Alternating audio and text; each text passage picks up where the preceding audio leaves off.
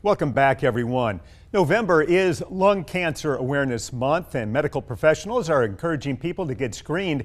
According to the American Cancer Society, about 240,000 people will be diagnosed with lung cancer this year.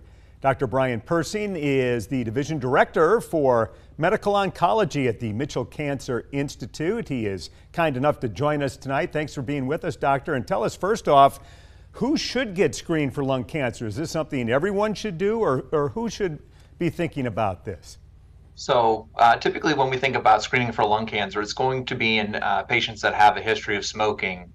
Uh, typically, anything more than a 20 pack year history uh, should prompt somebody to discuss the potential for screening with their physician. The physician should bring it up as well, uh, or any practitioner that you're seeing. Um, uh, there are two groups of screening guidelines, but most of that uh, includes patients between 50 and 80 years of age.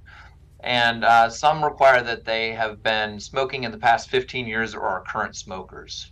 Okay, so how do you go about getting screened? What's the, uh, you know, what's it entail?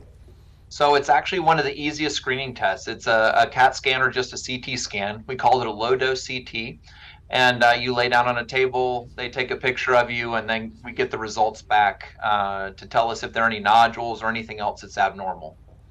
You know, there are a lot of people who are non smokers who think, well, I'm not smoking, I'm not uh, around anybody who does secondhand smoke, that kind of thing. Why should I get screened? How about non smokers?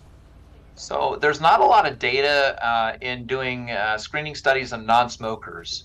Now, we know that secondhand smoke and some other things can increase the risk of uh, the development of cancer, radon exposure, and certainly even here uh, with shipbuilding industry, asbestos increases the risk for lung cancer as well. So, you know, if you have new symptoms develop, cough, or you develop uh, blood in, in uh, anything you cough up, or you lose weight, or having uh, chest pain that's not going away, that's always a good time to talk to your physician about the potential for uh, a CAT scan to look, not always for screening purposes, because now you have symptoms. And, and quickly, doctors, we're running out of time. Tell me about any advancements in treatments uh, that have been happening lately.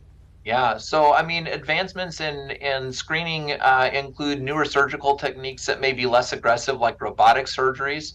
But certainly, even in now the metastatic setting, immune therapy and molecular therapy are making uh, a great deal of change for our patients and their quality of life. All right, Dr. Brian Persing with the Mitchell Cancer Institute. Thank you so much for being with us tonight. Thank you.